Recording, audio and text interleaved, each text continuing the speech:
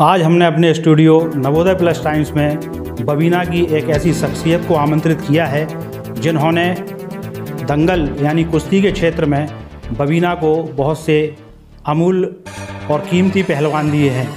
जिन पहलवानों ने बबीना के बाहर यानी बुंदेलखंड के बाहर भी प्रदेश स्तर पर और राष्ट्र स्तर पर देश का नाम गौरवान्वित किया है।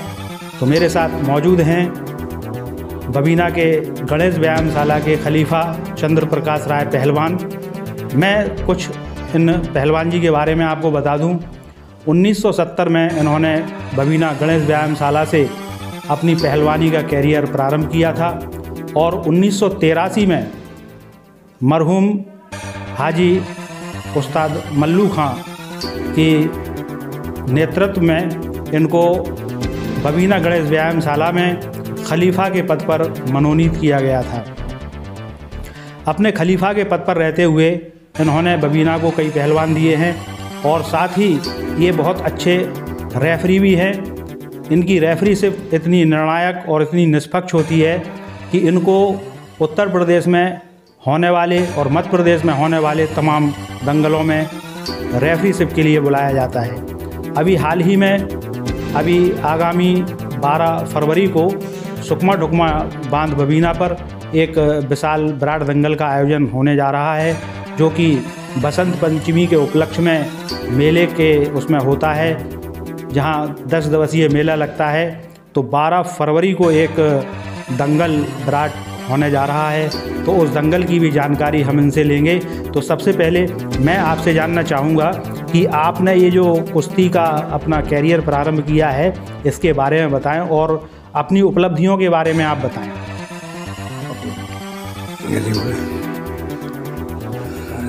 सब, सबसे पहले श्री गणेश व्यायामशाला में प्रवेश प्रवेश किया हमने। इसके बाद हमें दंगल कुश्तियों का बड़ा शौक लगा। तो जहाँ भी कुश्तियाँ होती थी, हम और हमीद। हमारे साथी थे हमीद खां। हम दोनों जाते थे लोकल कुश्तियों में। लगभग हम तीन सौ कुश्ती लड़ चुके हैं अभी तक, और हम निर्णायक की भूमिका उन्नीस सौ अस्सी से हमने शुरू कर दी थी। और श्री गणेश व्यायामशाला एक जीर्ण अवस्था में था जब हम गए तो वहाँ केवल सीटें डली हुई थी। इसके बाद डॉक्टर चंदपाल सिंह यादव से हम लोग मिले तो वहाँ उन्होंने अपनी सांसद निधि द्वारा लगभग दो लाख, ढाई लाख की कीमत की लेंटर डलवाया, जो आज बड़े अच्छे पहलवान वहाँ निकल रहे हैं और मेट भी उन्होंने दिया है जो अंकों के आधार पर कुश्तियाँ होती हैं जो हम जिला स्तर से लेके यूपी और इंडिया और विदेश तक जाते हैं वो एक आधार होता है मेट के द्वारा। अबीना में आपने अपनी पहलवानी के कैरियर में क्या क्या उपलब्धियाँ हासिल की हैं? बबीना में जब हम कुश्ती लड़ते थे हमने जिला कुमार की उपाधि और बुंदेलखंड कुमार की उपाधि हमने ग्रहण की। कब कब? उन्नीस सौ उन्नीस सौ सतहत्तर अगस्त अठारह अगस्त उन्नीस सौ सतहत्तर और जनवरी उन्नीस सौ अठहत्तर। मैं बुंदेलखंड कुमार। जब से आपको उन्नीस से खलीफा का पदभार मिला है तो इस पदभार को ग्रहण करने के बाद आप कितने सक्सेस यानी सफलतम पहलवान बबीना को दे चुके हैं? हमने शौकत अली को बनाया इसके बाद शौकत अली के बाद अनिल भी रहे। उत्तर प्रदेश में सन अड़तालीस किलो वज़न में प्रथम स्थान प्राप्त किया उन्होंने एल बी एम झांसी में। और शौकत अली ने भी आजमगढ़ में सन बावन किलो में ई पी गोल्ड लिया। इसके बाद शंकर पहलवान ने बुंदेलखंड किशोर की उपाधि ली। फिर रमन पहलवान ने बुंदेलखंड किशोर की उपाधि ली और संजय राय पाँच बार बुंदेलखंड कुमार बने और एक बार नागपुर में पंद्रह जिला मिलाकर विदर्भ केसरी वहाँ से बने। और ब्रजेश राय साठ किलो वज़न में जूनियर वेट में लड़ने, कुश्ती वो पढ़ने वाले बच्चों में फ़र्स्ट रहे। ब्रजेश राय हमारा छोटा लड़का है। हमने तीनों लड़के पहलवान बनाए। अपने। और इसके बाद और भी देवेंद्र हैं, दीनदयाल हैं। ये लड़ रहे वर्तमान में सत्येंद्र हाँ जो पिछले वर्ष चौदह जनवरी, अभी चौदह जनवरी, पंद्रह सोलह जनवरी को दो हज़ार बीस में कलार करार खेरा मध्य प्रदेश, मानवर कक्का जी। आप कोई ऐसा अपना अविस्मरणीय पल बताइए रेफरी सिप का जो आपको बहुत अच्छा लगा हो जहाँ आपको काफ़ी आनंद आया हमने सबसे ज़्यादा रेफरशिप का समय के पी सिंह कक्का जी कमलेश्वर में दिया। पहले मिट्टी में कुश्तियाँ होती रही वहाँ और उनके पिताजी के टाइम से हम वहाँ लड़ते रहे कुश्ती। बड़ा छोटा स्तर था उस समय। चड्डी लंगोट बनियान साबुन की बट्टियाँ मिलती थी।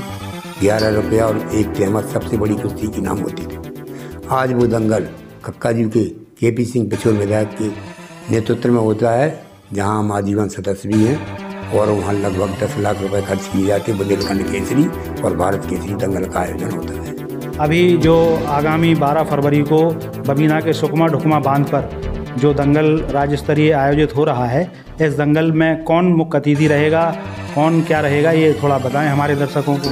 बसंत पंचमी के उपलक्ष्य दंगल में जो इकतीसवां दंगल है जो हम ही ने शुरू किया था। वहाँ टीचर रहे हम पैंतीस साल। और हमने एक व्यायामशाला का निर्माण किया वहाँ प्राइमरी स्कूल से लगी हुई। ब्लॉक प्रमुख तालबेट के द्वारा बनवा बनवाई गई और हम वहाँ समय से जाते हैं कभी कभी हफ़्ते में दो बार जाते हैं और बच्चों को वहाँ से शिक्षा देते हैं कुश्ती की। यहाँ कौन यहाँ अतिथि डी एम आ रहे हैं जिलाधिकारी। यहाँ से झांसी नहीं ललितपुर। और एसएसपी एक बेग हैं। वो आ रहे हैं अध्यक्ष। अध- हाँ, अध्यक्षता करने आ रहे हैं। और इस कुश्ती में जो है सबसे अच्छा पहलवान हमने बुलाया है जो दो साल पहले यहाँ आया था गणेश व्यायामशाला बबीना के द्वारा जो दंगल हुआ था बबीना में उसमें आए थे हमारे साकिर नूर मेरठ से। इस समय साकिर नूर बहुत अच्छा पहलवान है। बांदा में उन्होंने बांदा के पास लुकतरा गाँव है दस किलोमीटर पर वहाँ जीतू यादव बुंदेलखंड केसरी वर्तमान 2020 जो के पी सिंह के यहाँ बने और 26 जनवरी को ग्वालियर में मध्य प्रदेश केसरी की दंगल में।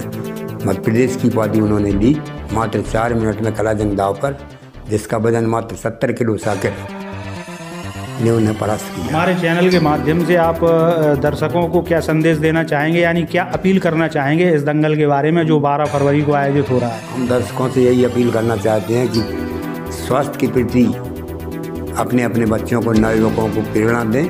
कि पहलवान ना बने तो कम से कम अपने दंड बैठक व्यायाम दौड़ वगैरह करते रहें डम्बल घुमा जिससे उनका स्वास्थ्य अच्छा रहे। इस दंगल के बारे में क्या अपील करना चाहेंगे आप? हम इस दंगल के बारे में ये अपील करना चाहते हैं कि यदि सरकार हमें मदद देते जो जो, अभी बाँध पर जनता हमारी बैठती है अगर कोई यहाँ स्टेडियम बन जाए तो दंगल की हम रूपरेखा और आगे बढ़ा सकते हैं। हम भारत केसरी दंगल का आयोजन कराने के लिए दृढ़ संकल्प रहेंगे।